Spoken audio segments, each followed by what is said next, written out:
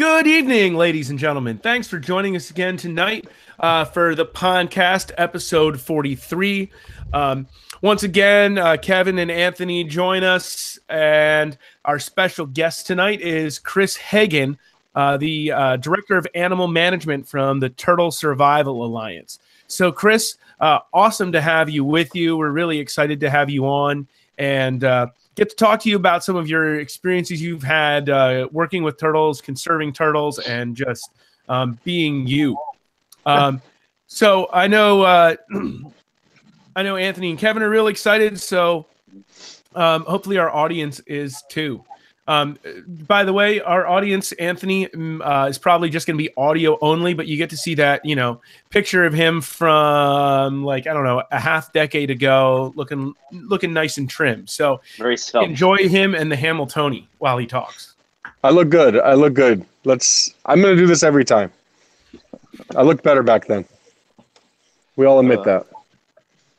So, Cris, So- we're really happy to have you here. Thank you so much for joining us. Thanks for having. me. Um, so, one question that Anthony always asks, and uh, I think it's a great question to start here specifically, is why turtles? why turtles? Well, why not? You know, you got to be interested in something, and it's just one. It's just the thing that uh, happened to fall into my lap as as a young child. So um, it's just my thing. I, I- I love turtles. I love I love all kinds of things. You know, I'm really interested in life in general, but you know, turtles. Why the specific obsession with turtles? Uh, You know, who knows? It, but it it's there, and it's always been there.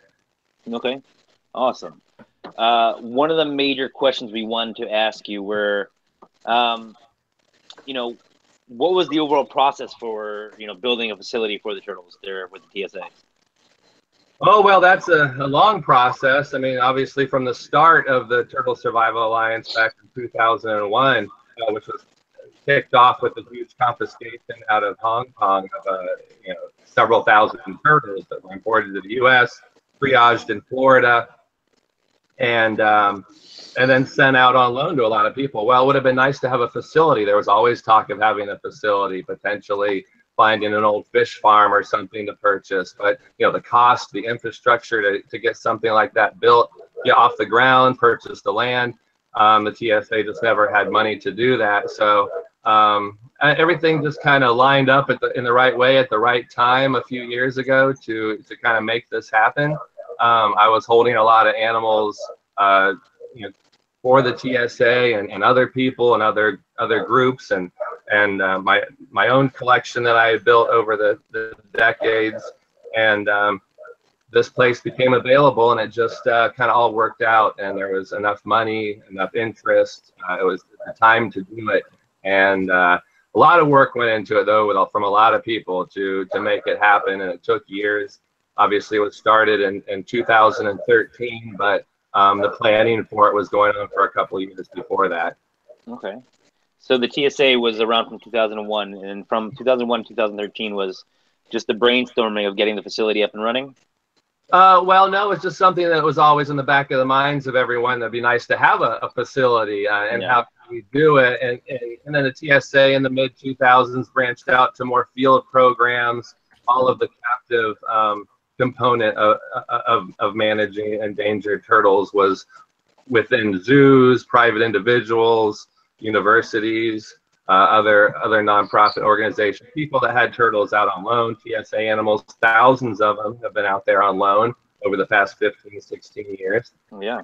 Um, so this was a, a way to to have a, a, a base, you know, a center of operations to to to handle the animal management program. Like we still have thousands of turtles out on loan. They're not all here at this turtle center. We only Yeah. focus on certain species and a certain number of each species. Um, we have, you know, a grow out plan. We don't, we don't have to have thousands of, of, of of the species that we target here. So, and then there are other species that we don't keep here at all that are in the TSA collection. They're just out on loan other places. Okay. Yeah. Awesome. The greater an- the greater animal management program is well beyond just this facility. Mm-hmm. Now, is it it's all over the world, Good. or is it solely here in the United States? Well, the the U.S. captive population is managed just here and, and here, but the, yes, there are other captive components to TSA programs elsewhere. So the Turtle Survival Center is just a, one program um, of the of the Turtle Survival Alliance. Um, Okay. uh, it's one captive component program that's in the United States. There are also other programs in, in other countries um, that do have captive components as well. That aren't necessarily Cris, linked. can I? Yeah. Sorry about. Go ahead. Go ahead. Continue. No, it's all right. Go ahead. I was done. Uh, I'm I'm sorry. I just wanted to try to jump on it here because I don't have video and you can't tell when I want to talk. Uh, Yeah. I apologize. I, I was wondering if you could speak a little bit to the the complications of have lending out over a thousand animals to private uh, the private sector. Maybe some of the um, real positive things that have come from that, and then maybe some of the negative things. If you could speak to to both sides, if if that's possible. Well, certainly, you know, one of the plus sides to it is just the capacity of holding hundreds or thousands of, of animals. No, no one facility can really do that effectively without a huge staff and a huge area. Um, so, and you also don't want all of your turtles in one basket. You know, things need to be spread around to different facilities. And uh, you know, a lot of places don't have the capacity, especially zoos that, that, that work with this, with these, with these species. And uh, they only have the capacity for so many animals uh, that they can hold. And um, the Turtle Survival Center here expands on that because we have acreage, lots of acreage, and so we can actually have small populations of these animals here. But beyond that, there's still a lot of offspring. There's still these animals need to go out places. I know we've sent you guys um, some animals uh, in the past, and, and and lots of other folks too. Uh, so that's a, a real good resource to have an outlet to put some of these animals, other people interested, getting involved, raising animals, um, uh, collecting data in, in some cases.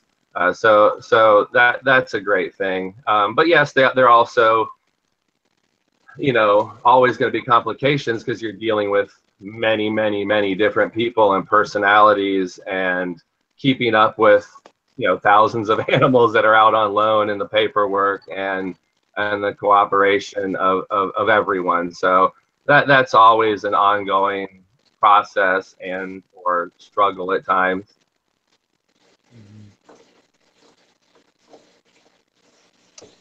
So does that answer your question anthony? Yeah, that does answer my question. I, I think I, I've I've kind of observed things over the years, and I've I've been surprised to see like the struggles that like Ray Farrell has gone through with the um, with with the Flavo, the Chinese box turtle uh, Yeah. taxon management group, and and you know he's produced so many, and he's really been very selfless with the animals, and so many people have had an opportunity to work with these endangered animals that wouldn't normally have that opportunity. And I know that you're in a position where you you want to be PC and everything. I'm not saying that you're hiding something or at all. I'm just saying um, there is a negative side to it, and I, I think that people don't understand because sometimes these some of these populations can be bred very successfully. People don't understand how important it is to take the opportunity seriously and to you know so uh, um, to speak a little more to the specifics basically the one thing that you're asked when you're a part of of this uh, taxon management group for the chinese box turtle uh, Cuora marginata is to not sell the animals to report if they die and then twice a year to send in measurements. That all you have to do is just twice a year just measure the animals. And and no one practically no one measures their animals and sends them back. So they're very happy to take the free animals but they can't measure the animals twice a year. And i, I don't mean to get you into something Cris into uh, down a negative uh, you know um, uh, route here but but that's something that that personally bothers me and and that really um and that's kind of where i was going with the question but um i Well, didn't yeah. necessarily want to bait you into anything either No, I, and that, that, that point blank question is fine. Uh, That that is that is an issue. That is a problem, and it, it, it's hard to to deal with. Yes, and you know what do you do? How do you you blacklist people? Say okay, you can't have any more animals because you won't. Um, especially we find out they're selling them. That's what we do. Uh, it's it's a hard thing to, to do, you know, to deal with and, and keep up with. Uh, It's a lot of animals, and I I feel the same way. I've given away thousands of turtles to people over the over the past 20 years. You know, that have come my way. People give me so many turtles because they're getting too old, or they're dying, or they have died, or they're just done with it, whatever. And um, and it's just amazing. Uh, you know, some people you know are really really good and responsible, um, but they can all take only so many animals and and and certain species, and it's especially now it seems like it's getting more and more and more all the time every year the number of animals that need placement um, from just your red-eared sliders and sulcatas to to just about anything you can imagine um, within reason. So so it never ceases to amaze me what, what collections become available year to year and and and, pe- and people are getting older and there's still a, a lot of kind of turtle turtles out there in people's backyards that they don't even realize or know about. But yeah it's i i really do yes it, it, it's a hard thing. The, the ray the ray farrell situation example is, is is a tough one.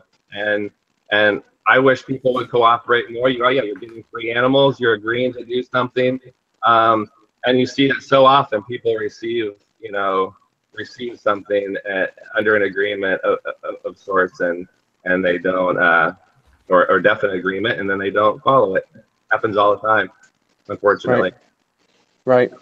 have you seen any uh, movement with with um, the TSA or zoos or anything to to work less with the private sector.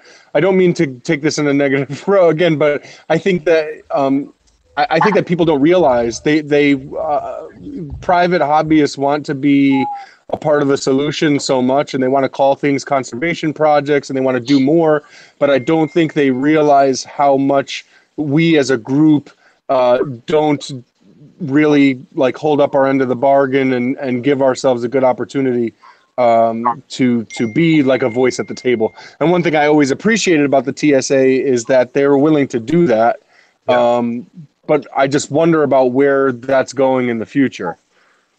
Hard to tell. I, I don't know. I mean, there's all historically, it's always been, you know, uh, zoos and privates have been very separated in this country anyway.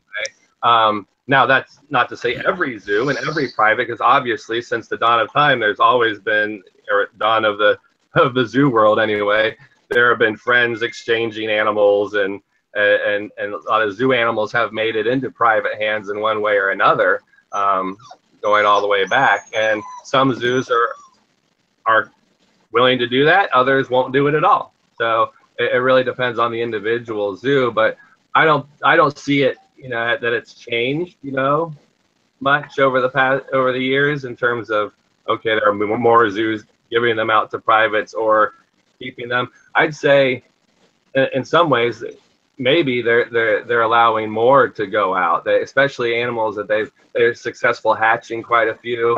And then they have all these f1s 15 20 30 and uh, zoos don't want them. Nobody else wants them. So they they the only other outlet is going into private hands. And so they try right. to find responsible private people to give them even if it's a zoo that historically doesn't normally deal with private people i i, I think i've seen a few more willing to in, in recent times um, because of that, there, there's there's no more room in zoos for every kind of turtle and and lots of them. Um, right. So I know that uh, TSA requires uh, um, anybody receiving some of your animals to be a member in good standing for at least two years. Um, what else uh, do you typically uh, require during a vetting process before placing animals with uh, with a private keeper? Well, we just have your a standard uh, animal recipient profile form that you'd fill out and give us, you know, information and references. And you know, if we don't know you, we'd want to check those out and call a couple of people and find out your expertise with the species or turtles in general. Um, eh, you know what your experience is. So that's generally what we do. And then, um, but usually it's people that we know. There aren't too many people that just show up that we, we, we don't right. know, or that we don't know directly. They don't know someone we directly know, so it's all kind of word of mouth thing. So uh, occasionally, you know, we, we get new people that we don't know. We have to really um, vet closely. All right. Um, so I'm sure one of the things everybody's uh, looking forward to hearing about is everybody likes to hear about the adventures uh, that um, you get to experience going all over the world to conserve turtles. So could you um, maybe tell us about one or two of your favorite trips that you've taken um, to do research or conservation uh, with turtles? Okay. Um, well, I've been a world traveler all my life. Um, I, have always been a traveler since I was very young, and uh, something I love to do. I love to experience culture. I'm a, I'm a naturalist. I'm a, I'm a generalist naturalist. I really enjoy um, all walks of life and, and, cultures and community and, and and getting into whatever situation you find yourself in traveling. Uh, and uh, you know, some of my favorite places to go are in, in the Indonesian archipelago. That's where I've spent a lot of time um, traveling on my own um, uh, since the 90s, late 90s, the first trip I went on. And um, spent a little more than a year of my life there and traveled to many of the major islands and have seen quite a few turtles and, and other herps uh, throughout the throughout the region. And and uh, that's just, you know, I always think about, I, I feel like I was born, you know, a few hundred years too late. I, I wish I could have been an early explorer um, and, and, doing some of that stuff, getting to deep into the jungles of New Guinea or even like Rhode Island or Sulawesi, where people in some cases have never seen a Westerner before, and and and, and they can't understand why the hell someone would come all the way around the world to, to see a turtle or a snake or you know, or, or whatever. Uh, in some cases, so, you know that's always an adventure, but you know, going out and, and collecting data on uh, like leucocephalon, uh, yuwonoi. Um, it was described in 95. I went to Indonesia for the first time in 98 and saw one for the first time. And then went back in 2002 and saw one in the wild for the first time. And, uh, and you know, that was just exciting being part of a, uh, figuring out information about a, a, a, species that we didn't know about in the West. Only people on the island of Sulawesi and maybe a few other people really knew about. That's so, amazing. Yeah, wow. I, you know, I've been there a few times, three times now. Been back. Last time I was there in 2012, and uh, actually went up into the same stream and still caught turtles a decade later. Um, so it's there, and and the opportunity to see the the uh, Siebenrockiella leytensis, the Palawan forest turtle in yeah. the wild uh, in 2012. That was an incredible experience, and uh, and uh, not to mention all the crocodilians I've seen in the wild. That's uh, one of my first loves in life too, are, are crocodiles. I have to say, my wife makes fun of me constantly for having the worst tattoos of all time. Every time you and I have been together, I've admired your tattoos. I never told you this one on one because I think that maybe you think I was hitting on you or something, but I do. most most men think Anthony's hitting on them, so it's okay. Yeah, I, am very polite, yeah, and, and and imposing, yeah. But I, I just you do have really good tattoos, and and a lot of them are base are crocodilian as well. I, I think that's really cool. And uh, don't just don't be upset if I steal any of your tattooed ideas. It's it's imitation is the most sincere form of flattery. You know how that goes. That whole thing. Right, right. Well, I have plenty, and, and I, I've been working on doing at least one representative of every family of turtles in the world. But I keep getting caught up on Geoemyda. Like I think I have like 20 Geoemyda turtle geoemydid turtles on me, and you know, maybe only six families or seven families at this point. So yeah, it's a slow process. That is so cool. Yeah. So cool. Gosh, I'm sorry. That's just cool. Cris, where are you traveling to next for uh, next conservation project? Um, probably Ohio. okay. It's very exotic. It's very exotic. That's funny. Yeah. No, no, no direct plans uh, to go anywhere at the moment. Um, I would like to have gone to the Croc meetings uh, this year in Argentina, but I don't think I can afford that this year. So uh, I don't really know. I don't. I, a lot of times my traveling is spontaneous, and, and, like literally within two or three weeks of planning, I'm mm-hmm. or less sometimes, because uh, sometimes it's uh, even if it's a a vacation. You know, sometimes like, okay, let, I'm just, it's time. Let's just buy a ticket and go to wherever. Um, a lot of times there's not a, a lot of planning. involved. And then when there's a spur of a moment event, for instance, like the the big head confiscation in Myanmar, um, did you go out there or did you send people Yeah. out there? I, I was one of the people that went out. Uh, one of the first people that made it there. Um, probably from knowing about it to getting there. I was actually at the um, at a at a conference at, at, at that time at the TTPG conference, um, and so I was delayed by a couple of days because I had to come back to South Carolina first to go. So it took me like four days to get there. But like the Palawan crisis, I think I was there within like 48 hours. Yeah. Um, so you know, but yeah, in just a, in a in a few days, um, and in, in the back in the early 2000s when I would go to Indonesia looking for turtles, uh, looking for undescribed turtles, that type of thing. Sometimes we get a tip, and I just buy a ticket and get on a plane and go try to search it down for three or four weeks. Okay. That's awesome. So, how long have you uh, been officially employed by uh, TSA at this point, and what was your official job before that? Well, um, I have been employed with the TSA since October of 2010. Um, uh, it was a, a position that I kept nagging that we needed. I, I kind of pushed for my position to exist in, in some ways, and, and it needed to be there anyway. And uh, so the position was created in 2010. Um, but at the time, I was working at the Savannah River Ecology Laboratory, which is um, part of the University of Georgia, which is in the state of South Carolina, the laboratory. Um, so I did both jobs. I had two full-time jobs. I did about 30 hours a week for each job. Okay. Um, so I had an office at the ecology lab, um, and but I was still under contract employment with the TSA for um, three years before we started the Turtle Center. So I was Right. At the ecology laboratory for 11 years, and uh, and and the last three of those years I was TSA and the ecology lab, and then transitioned over to, in 2013 in March. of 2000, made five year anniversary in, in a month or and a half or so. Wow, Nice. that went fast. Yeah, Yeah. Congratulations. yeah, yeah. Right. Goes by really quick. Really, five years went by really quick for sure. Wow. I feel like it was just yesterday when we were when we were seeing like plans about it. Yeah, Pretty amazing. Wow. It's changed a lot. I'm looking at stuff that we just had an acre and a half cleared this past week at two weeks, and and I just I can look around and see, and I have photos, of course, too, of when we first bought the place. And the place came from a friend of mine, so I've been out here before. So so he had it was a croc facility, a private croc facility and veterinary clinic, and and and just animal menagerie that he and his wife had here. So.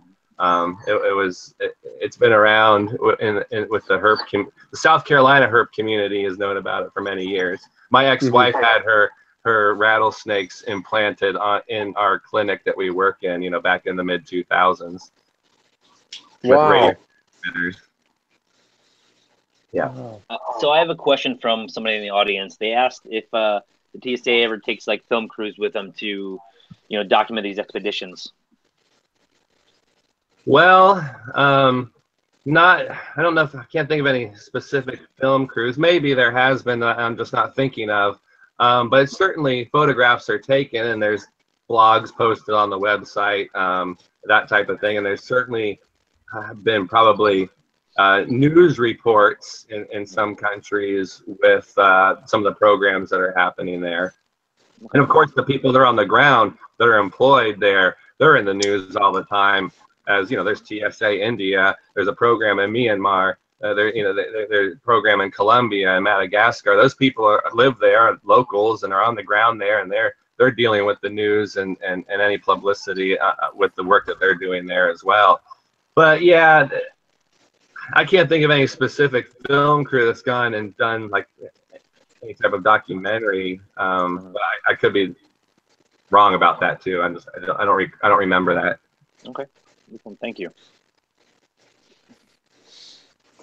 Are there any species, Cris, um, that you think people should have on their radar? Um, I know in the this this has gotten a little screwy since then, but in 2012, in the TSA magazine, um, there uh, Ben Anders wrote an article uh, urging people to work with um, Kwangtung river turtles um, because or or redneck pond turtles because Um, no one seemed to want them. They were cheap at the time, and excuse me, he um, he just basically needed more dedicated people to just try to work with the species and and basically care about them.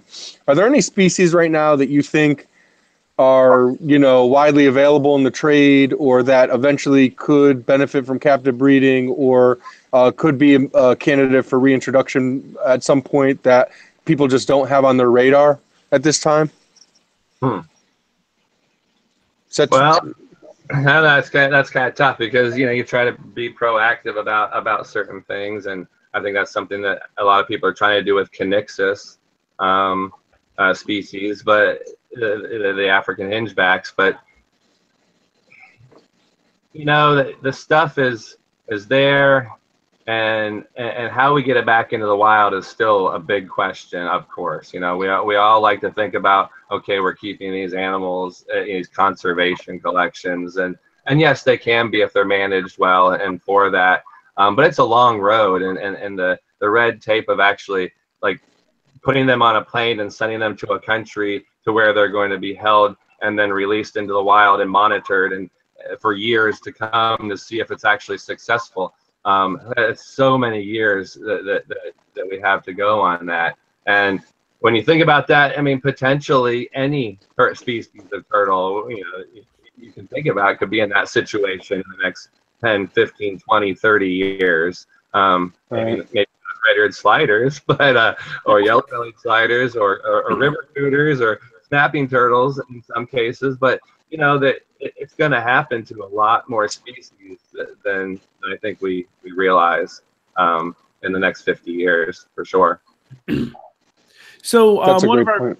one of our viewers um, was asking specifically, uh, and I think the answer is yes. But does TSA work with Batagur borneensis? And I believe you do. Um, Yep. In one of the, at the center or in uh, in a more native region.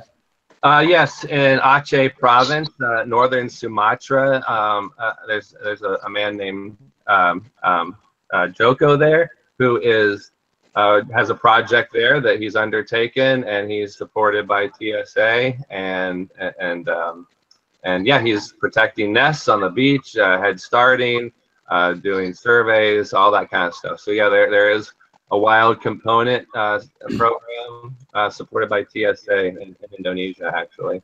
Um, in captivity, there are some in the in the collection, not the collection here, but in the in the uh, greater TSA collection that are held at zoos.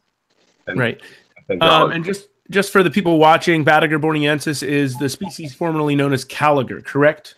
yes, All right. the painted terrapin, you call them.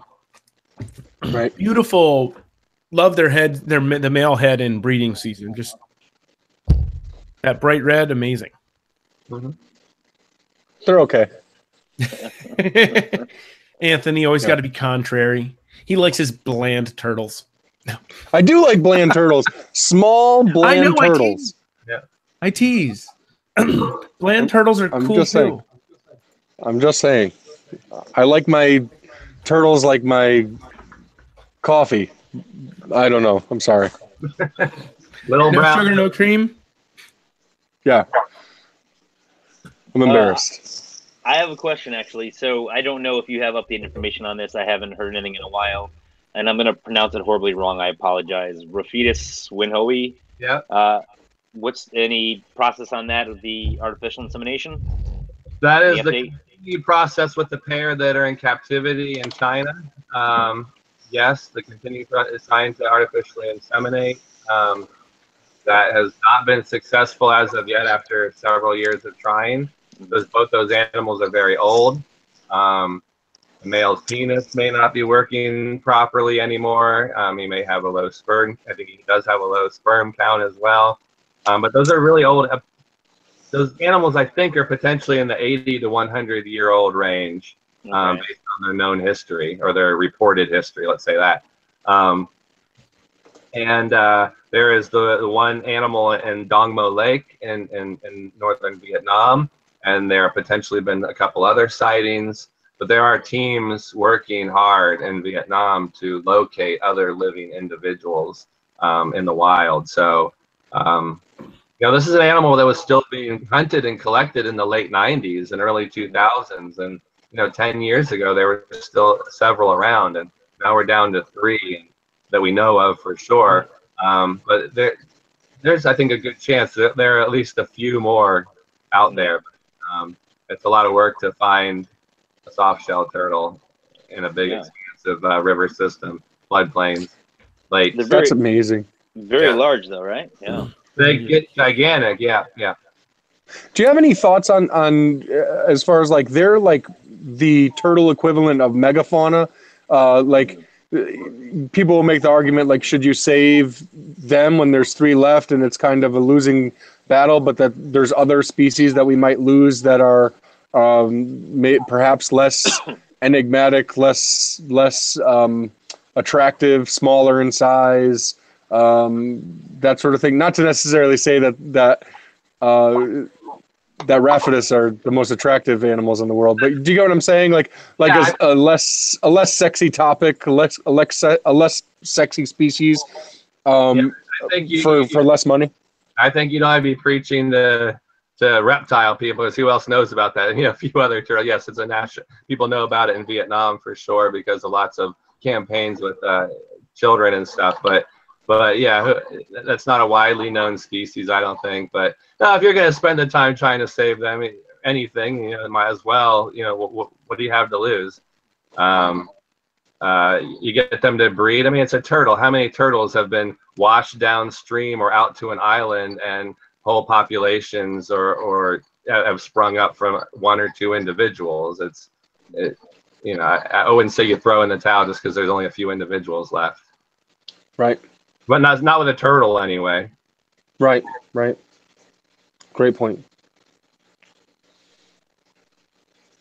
Uh, but yeah, there are a lot of other turtles too out there that nobody knows or cares about, and they're just as going right out the door. Cuora zhoui, um, Cuora aurocapitata, um, you know, uh, uh, hogei down at Mesoclemmys hogei, and there's animals that there aren't that many left of, and they have very small ranges as far as we know, and and they're they're they're going, they're they're out the door, and nobody knows about them. Nobody really pays attention to them except for turtle freaks.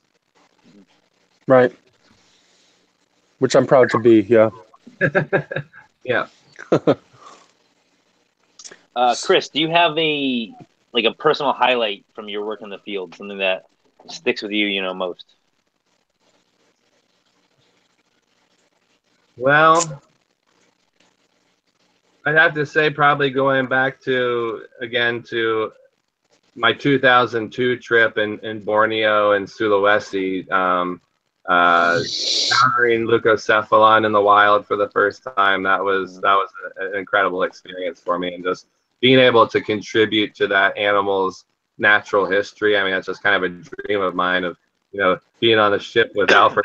So being Alfred Wallace and, and, and sailing around the Malay archipelago, you know, in the 1800s, that would have that would have been great. And so I got a little taste of that, um, and traveling around in New Guinea, um, finding uh, going from river system to river system, and looking at all the differences and what has been described essentially as uh, Chelodina reimanni, which is it's like looking at map turtles across the southeastern U.S. Mhm. Every river drainage has a slightly different turtle in it.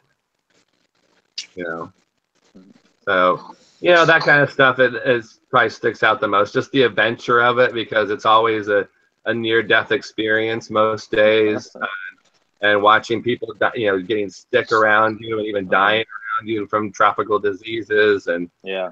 And, and you know on the toilet nonstop, you know all that kind of stuff that goes along with um, uh, some of that, and being sometimes a little bit unsafe, but but you know it's all part of the adventure um, because the people there they they just live the way they live and and you just kind of fall into it. Man, my life is so boring. It's the worst. I have the worst life. Oh, can can we talk a little more about Sulawesi? I know you already touched upon leucocephalon, which is which is the Sulawesi forest turtle, and then there's also um, the Forsten tortoise, which which is endemic to Sulawesi. Now you've tracked both species in the wild. Which one is more rare? Well, I have never actually seen forsteni in the wild. Um, I've gone out looking for them many times, or the times that I've been there, and never seen one. Gone out with trackers and with dogs, and never seen one. But I've seen a lot of Yuwonoi. So I don't know if it's just a, a matter of the, the localities that, that, where I was, um, or if Forstens really are. I, I do believe that Forstens should be critically endangered, just the same as as Yuwonoi is. But um, which one is actually truly rare would be a complete guess on anybody's part, since no no real studies have ever been done on either of those species. We don't even know the extent of their of their geographic ranges. Um, but from my personal experience, I've never been able to find one in the wild, even though they the two species occur together. They're sympatric. They bump nose. They run into each other in the field for sure. Um, in, in the habitat, they share habitat. So in some parts. Now, there are areas where forstens are where you never find a Yuwonoi, but there are areas where there are Yuwonoi where you will find forstens as well. Very cool. That's actually why I asked the question. Um, I assumed that Yuwonoi was more rare, um, but uh, for the forsten sort of seems to be um, declining so fast.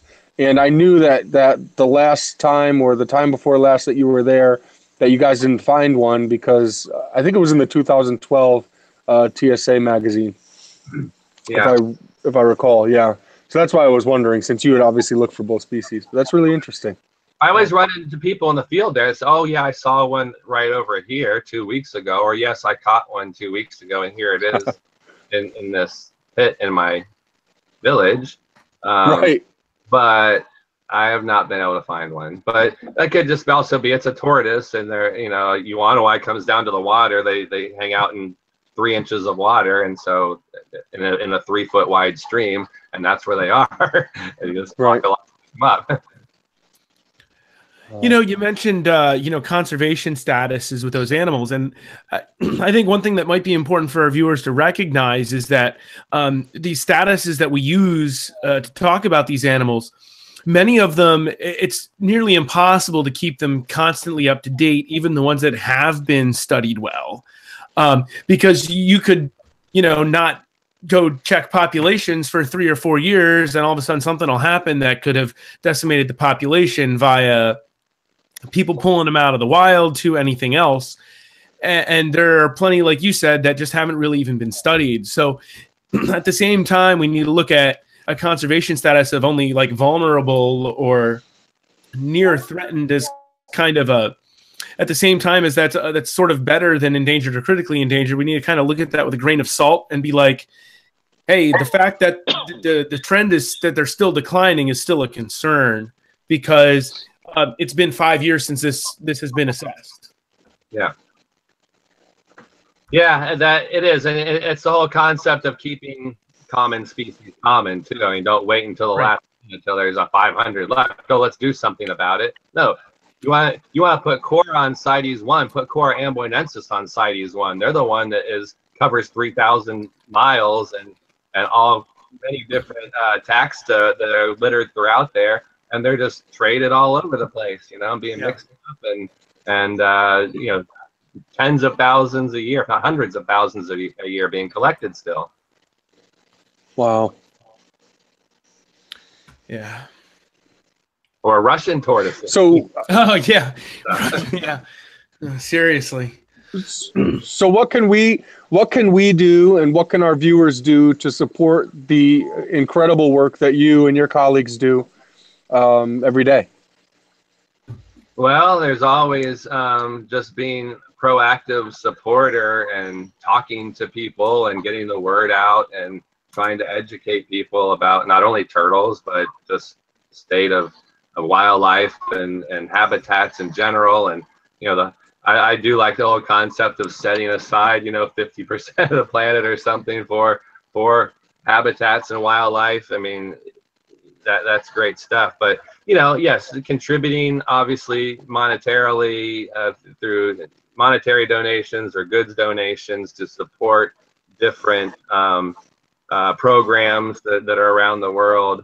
Um, and you know, I mean, the TSA doesn't do this all, all by itself. It, it, it's, it's, a partnership. The TSA has always been a partnership.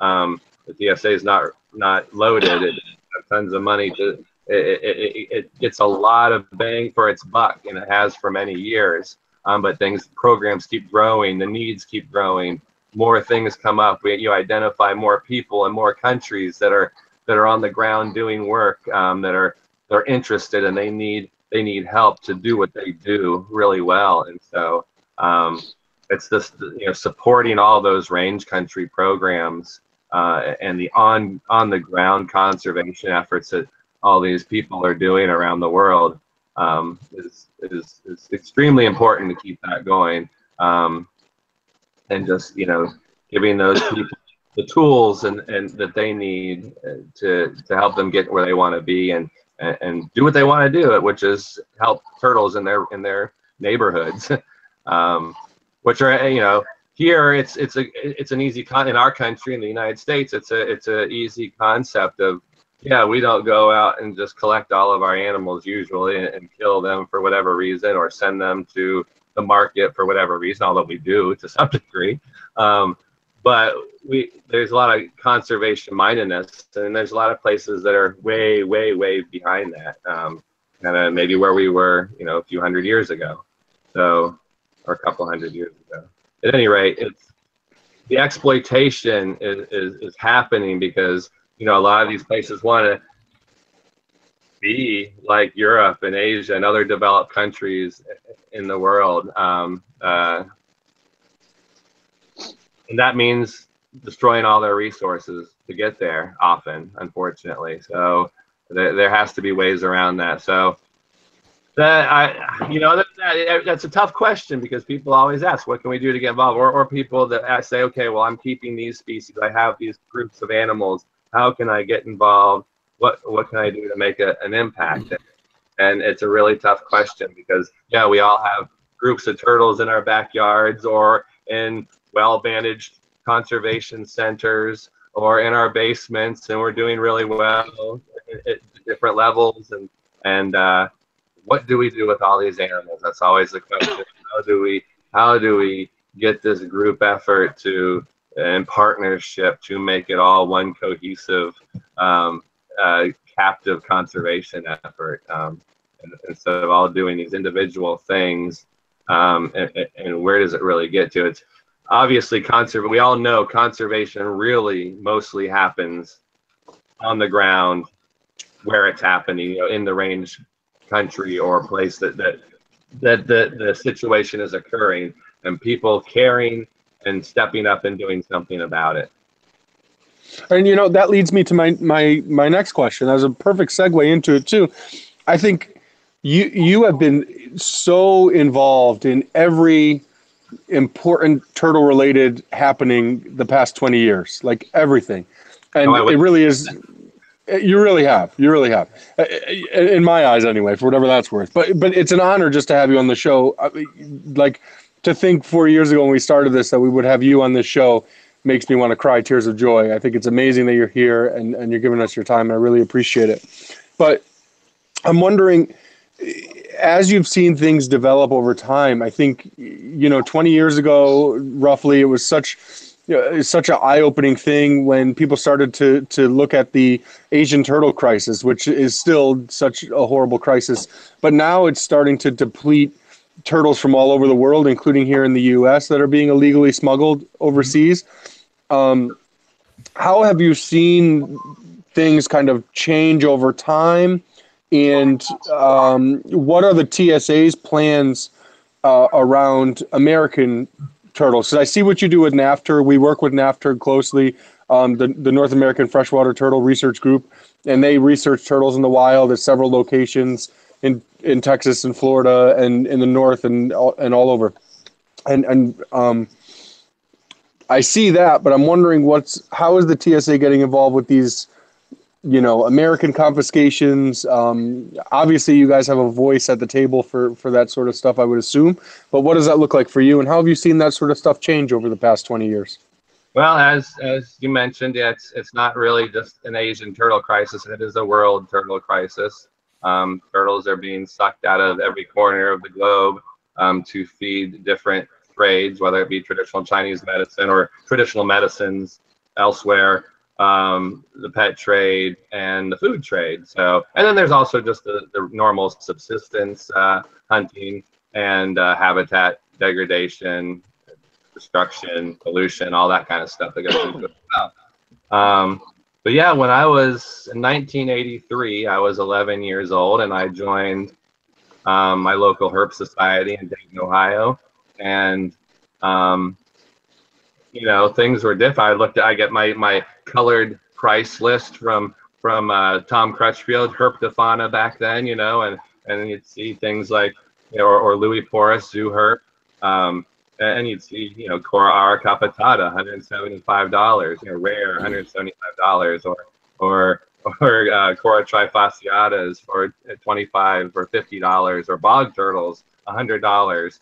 Um, you know, all, all, all that kind of stuff. And and it, there wasn't this big, yes, there were conservationists back then, but there wasn't this huge conservation mindset of, oh, well, turtles are in trouble all over the world. things are just, you know, kind of neat you know, we go out when I was a kid, I'd go out and collect painted turtles and take them home, keep them for a while, or soft shell turtles just to kind of watch them and keep them and feed them. And, and, and, I spent most of my time out in, in the creeks and, and, uh, and I watched a lot of stuff where I grew up, just in around a suburb of Dayton, Ohio.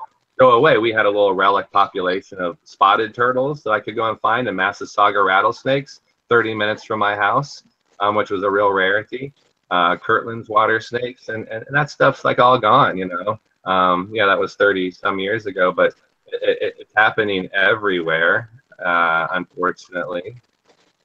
And I just don't see it getting any better at all, uh, other than little wins here and there. Um, but as we progress, 10 years ago, 20 years ago, every decade, it just, yeah, we recognize that We're doing stuff. We are making uh, we are successful in some areas, some places, um, but it's still happening at a great rate.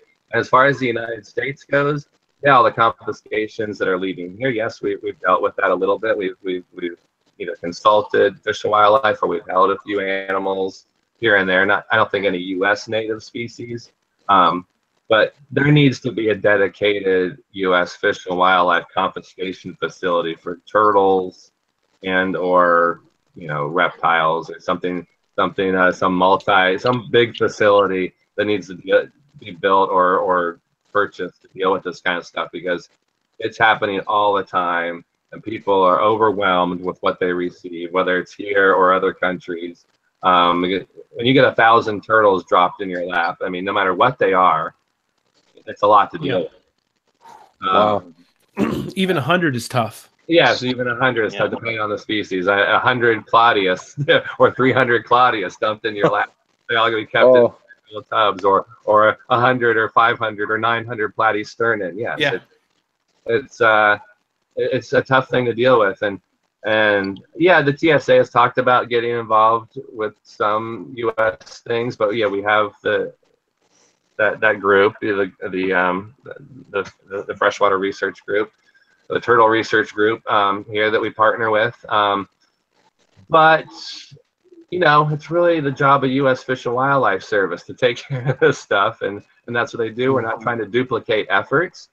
If there's something we can do to help, and we have the resources, and it, there comes a day that that we need to uh, manage bog turtles in captive colonies. That's the only place they're left, or Cagle's map turtles, or or you know whatever it may be um, then then maybe the TSA would get involved in something like that.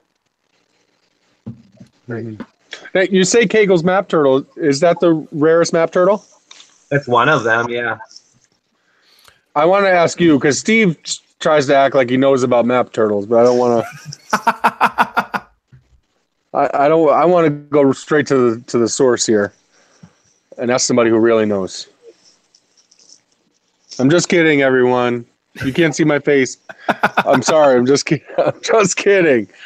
Jeez, take it easy, Steve. You're getting all red in the face. I don't know the name of it. Uh, there's a map turtle in, that's solely in Texas, right? That's like That's Ca- it's Cagle's is solely in Texas. Graptemys versa is solely in Texas. Um, gibbonsi is very endangered in the wild based on Peter Lindeman's surveys and his work. Yeah, you see how I I que- I I, I question him a little bit, and now he's got to prove. See, that's good. When he said Versa. For everyone at home, when he said Versa, he that's the Texas map turtle. Yeah. just you for everyone to know that. success. So yeah, Steve knows that the Texas map turtle is from Texas. So everyone give him a round of applause.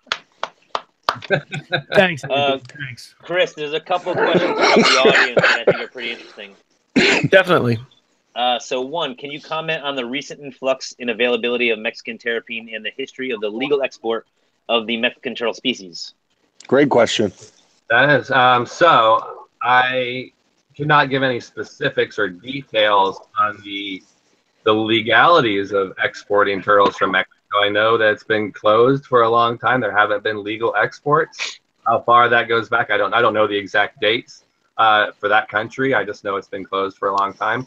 And yes, there has been an influx of many illegal Terrapene mexicana, uh, uh, Yucatanas, Nelsoni, uh, other other um, um, Claudius, other other turtles from Mexico, and other her- herp species from Mexico. Not to not just the United States, but to markets in Asia as well. Um, so. Yes, there have been a lot. It's really unfortunate, and there's just been this huge spike in the past few years how they're what i mean i don't know the routes. I don't know how it i don't know the details of how it's happening. I just know that it is happening. Um, and uh, a lot of those animals aren't making it i think. They're they're, they're tough to acclimate. And again you know animals are held and they they go through um, you know all kinds of stressors being held and sent from one place to another. A lot of times by the time they get to you they're in pretty bad shape uh, from secondary infections or, or whatnot uh, from the stress of what they've been through. Dehydrated most of the time, um, sometimes starving if they've been held for many months, that type of thing. So, yeah, it, it is it is unfortunate to, to see all that going on. And a lot of these species don't have ranges either. How long can that go on? Um, especially when you see lots of them going to China as well. Um, another one that uh, you know I know is uh, species TSA is is involved with um, country that everybody's familiar with, everybody's aware of as um, just things are are happening badly for reptiles there um, right now. Uh, Madagascar, particularly um, uh, the the plowshare uh, tortoise. Um, I mean, it's not the question simple. Are they doomed? And I mean, that's a that's a tough question for sure.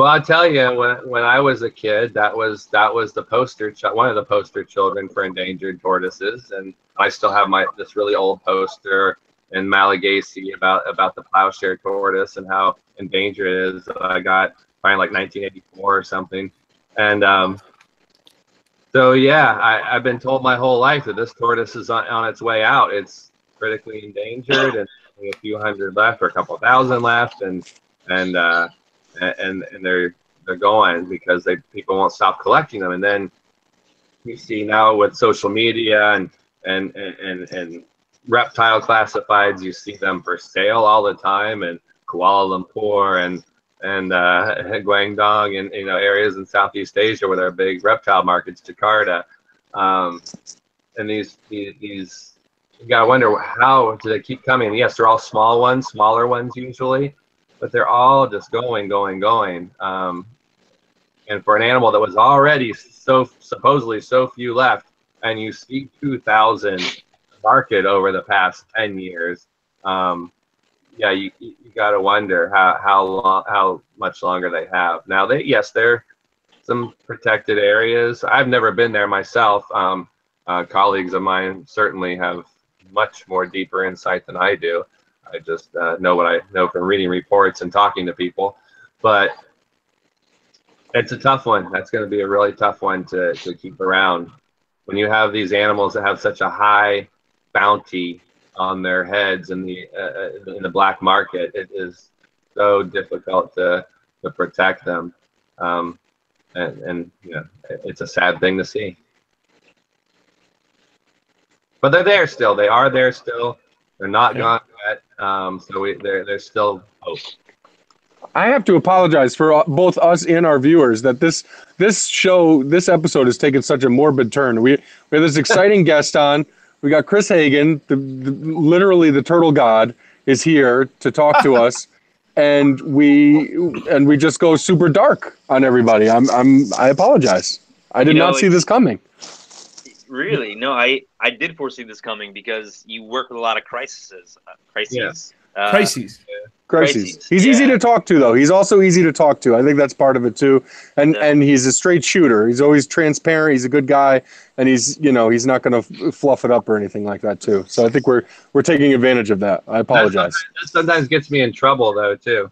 Right. That's why that's why I apologize. Right. I don't want to get in trouble tomorrow at work because you're telling us stuff you're not supposed to or anything. That's why, please, just for all the viewers out there, Cris has the right to say no. So if he says no to us or you, then that's okay. Just we're, we're gonna we're gonna get through this. All I know is I don't take anything for granted. I've been my entire life. I mean, I've been able to be a herpetologist. I've never really had to do anything else. Which, yeah, I'm not rich. I don't own anything. you know, I barely get by. But I've traveled the world and I've uh, researched turtles, studied turtles, hung out with turtles, and other wildlife in lots of cultures my entire life, and I don't take that for granted one minute. I've a lot of wonderful friends that have helped get me here um, in one way or another uh, in terms of knowledge and understanding and uh, um, uh, just getting into you know having the opportunities that I've had um, throughout my life um, to, to be able to travel the world and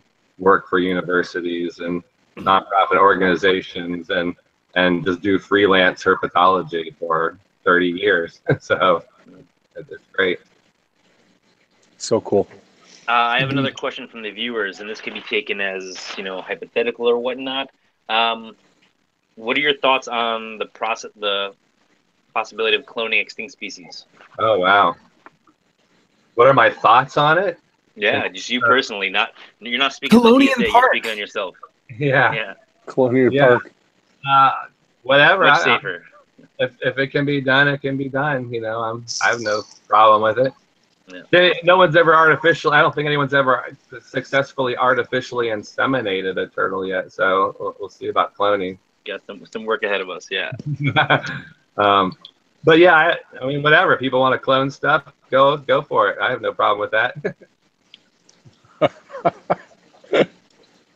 Uh, and another one here. Um, how about some of the successes? You know, so they noted that there's been several several positive notes on several Batagur species. Yeah. Several other ex, you know, in situ or ex situ captive breeding successes of like Platysternon and Rare Cuora, etc. Yeah. Yeah. So yeah, there are successes in terms of uh, uh, you know we have like the the Burmese star tortoise was considered functionally extinct by the mid '90s, and now they're re-releasing them and they're breeding in the wild again, and and there uh, are over a thousand out in the wild again in a couple of sanctuaries. Um, so That's the biggest one I think of. yeah, that, that's a great that's a great one, and yeah, just you know the nest protection and bat you know Batagur trivittata, you know all these animals that you know we or you know people considered were extinct. You know every time, oh well, they're not really extinct. Whether it's Cuora unionectis, Batagur trivittata, um, which was used to be Kachuga trivittata, um, know, Burmese root turtle, the Arakan forest turtle, Heosemys depressa. Um, you know, all these animals were extinct. They're extinct. We haven't seen them forever. The Philippine forest turtle, leytensis. Oh, they must be extinct because no one's seen them in all these years. No, they, they were still out there, luckily. And uh, we, we did get to rediscover them, or people did, and, and we all get to benefit from that. And, and now uh, the, the task is at hand to, to do something with that knowledge and not, and not uh, throw it all away um, and make it true that they are extinct. So uh, we'll see how that all that goes. But yeah, there are definitely breeding successes in captivity. I mean, things like Cuora McCordi that are, you know, probably down to the last few individuals in the wild, if there are any left at all.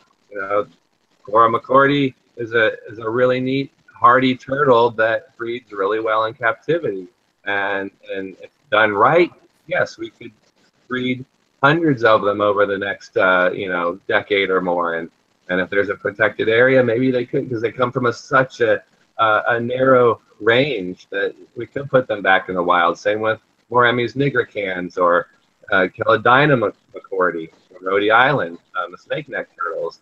Um, so there there are some animals I think that that that are close to extinction in the wild that captive breeding can help by augmenting populations or, or totally reintroducing populations through captive breeding if things are set up properly. Um, things that have really wide ranges, um, geographic ranges, that, that that gets a little trickier. Obviously, where do you put those animals back? That's such a that's such an important piece of information that you never hear anyone talk about and there's so many folks that try that try their hand at like conservation and what really what what the private sector does is more like preservation of species than conservation of species and and you never hear that you that's such a fundamental and and important little gem of information that is just the way it is for you and just blows my mind because you never hear it. I, I really appreciate you sharing that. So just to reiterate species with large a large range it's going to be more difficult because there's going to be genetic variation across the range. Um, and for these species that have a very small range that just come from one little area it's it's going to be much easier when you know what you have and you know where it came from originally and you can reintro- reintroduce it without risking you know muddying the gene pool in, in the in, in the wild. Because conservationists will not do that uh, the way that we do in our captive in our in our captive operations. And that's why it's so important for us to be careful what we're doing. That's why so many i see a lot of people in in europe really being a lot more mindful of um, locale locality it's not even it's not even necessarily the species or subspecies but it's where did it come from and if you don't know where it came from then you know you're not going to have much of a leg to stand on when you try to call it a conservation project and I think there's still a range of beliefs in there too, even from a conservation mind. Is you have you have the camp that's like, okay, well, what's more important, having this pure animal or that's gone from the wild, or having the animal back there filling that niche, its ecological right. niche and doing its job in the environment. Um, okay, so you know, Mauremys annamensis and Mauremys mutica, they hybridize naturally in the wild. is because this annamensis has 10 or 12 percent Mutica genes in it? Should it should it not be back out in the wild doing its job, but a species that has pretty much been completely wiped out? Um, you know, I don't know. You know, that, that that's a philosophical debate that people have, but um, does everything have to be pure uh, to, for it to go back uh, genetically pure to its its exact you know range, um, or is filling the niche more important? But I feel like this is this this gets to the core of of the the the the difficulties in conservation because you're up you're fighting this losing battle like like you're protecting animals from from poachers who just have seemingly all the resources they need and all the time in the world and all the need for that turtle where we don't have enough money to pay people to protect it and then you know and then it, there's always kind of this this losing battle. And again, I'm getting dark and morbid and and uh, pessimistic about things. But um, I think you know we try to do things the right way, and sometimes I guess maybe it gets in the way a little bit, the bureaucracy of it, maybe. And um, yeah, that's that's um, it could be frustrating for me. I and I know one percent of what you know. I know one tenth of a percent of what you know, and um, I could I could see it already. Yeah. Just saying. So, all right, Cris, don't fall asleep on me. Uh, we have another question. Gotten... Sorry, go ahead. Oh, I, uh, you go, uh, Kevin, and then I'll, I think we'll wrap up after that. I was going to ask him one question to wrap up. So. Okay. Yeah. So one last question was, why do you believe keepers have so many problems historically hatching offspring with the Galbinifrons complex. Oh wow, yeah. wow! I you know, I, I asked myself that same question. Sometimes thinking about the species that I've kept for 10 or 15 or even 20 years and then ne- never hatched one. And then all of a sudden started hatching them every year after 10 or 12 or 15 years. Um, I don't know if some of it's just the, the longevity of, of uh, or the, the, you know animal being moved and coming new into a collection and it really just takes time with some of these species to really be comfortable and fully acclimated before they, they start reproducing. I also wonder if there is an individual compatibility. Just because you put two animals together doesn't mean they're compatible to be breeding and, and reproducing. Um, I think there's a lot of factors involved with it, but um, it seems like once you do have animals that are acclimated and do start breeding, then those animals keep doing that year after year after year. And and but I think just sometimes it takes a decade or more um, for that to happen. Yeah, if there's if there's one thing we can truly learn from turtles and tortoises, it's patience. Yeah. yeah. Like you just can't rush them into anything. Get them acclimated, let them get them happy, but it, sometimes it just takes patience. Yeah. So, I mean, some of my biggest disappointments are Notochelys platynota, the flatback turtle, and its sister taxon, Leucocephalon yuwonoi. I've kept both those species, you know, for a long, long time, and I've never been able to hatch one myself. Um, but I had things like Heosemys spinosa and Platysternon that took me almost 15 years before of keeping them and mm-hmm. even getting eggs. I mean, I had 100 yuwonoi eggs in my life, and I've never been able to hatch one. So, um, wow it's it's one of those things that's very frustrating, but sooner or later it's going to happen. Uh, the patience. Yeah. And, so, wow.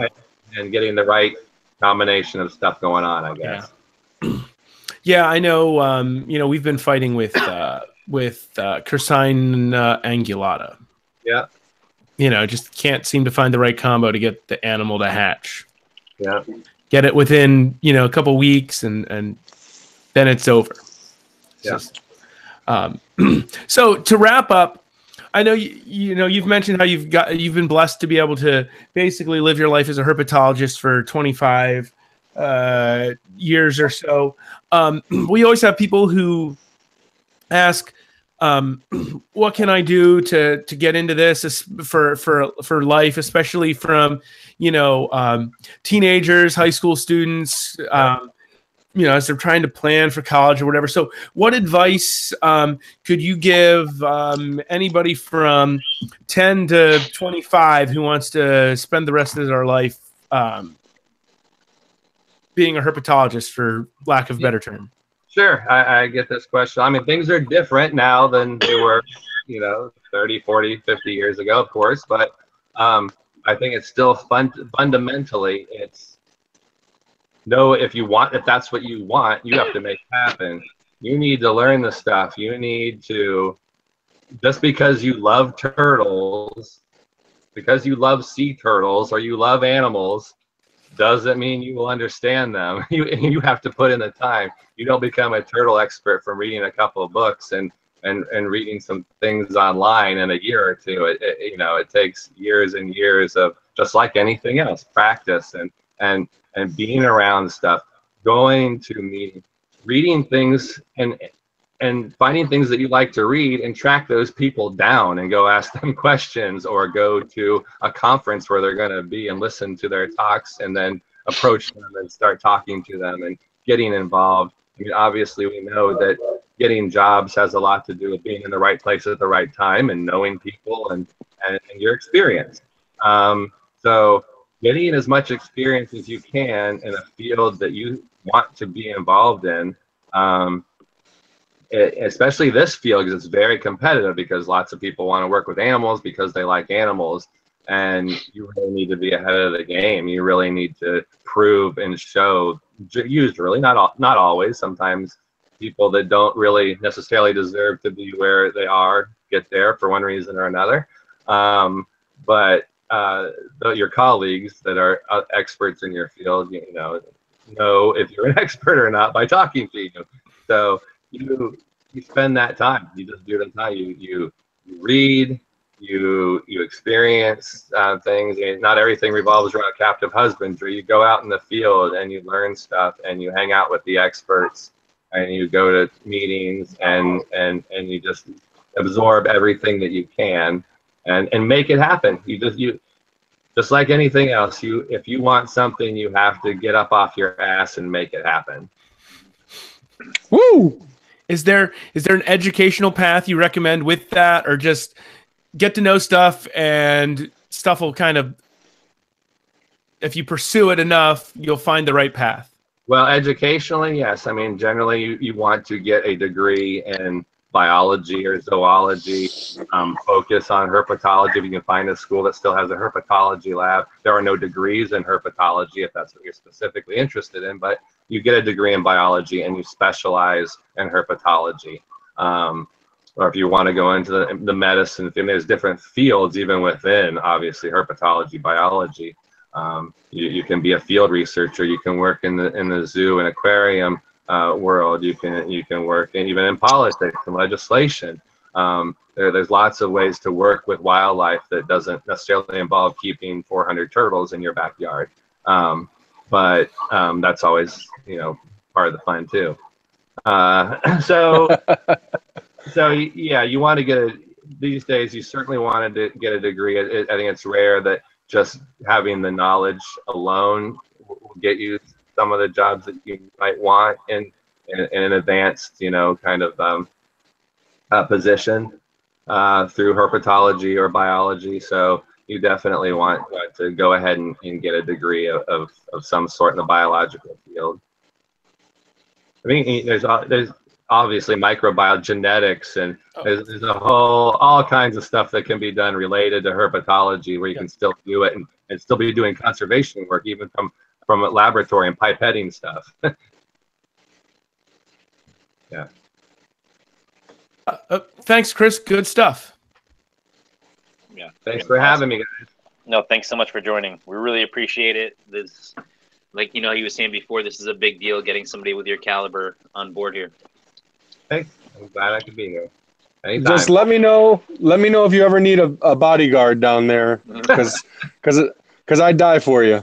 Sure, you, we have a couple of dog kennels, and we can probably put one more in between. You can guard dogs. It need to be sounds, a pretty big kennel for Anthony. I know. Yeah. That sounds terrific. Yeah. That sounds terrific. Yeah. He'll be good with a pillow yeah. if he gets to play with turtles all day. Oh man. Well, on that note, ladies and gentlemen, thanks for joining us here for uh, the Pondcast episode 43. Um, we wouldn't be uh, doing the here uh, doing this without all of you watching every week. Um, Cris, as uh, Kevin and Anthony said, we're so glad you were able to join us, and um, hopefully we can do this again sometime. Um, if I don't see you before then, I will see you in Fort Worth in August. All right. Thanks for having me, guys. Have a good night. Thanks. All right, you Bye. too. Bye.